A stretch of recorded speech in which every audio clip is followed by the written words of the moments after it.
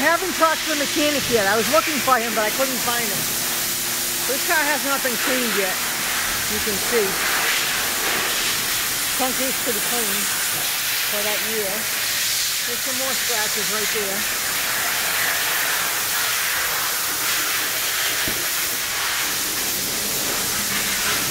So the car came in this way. They said they haven't done the interior yet. They're probably going to throw those mats away. Just stains.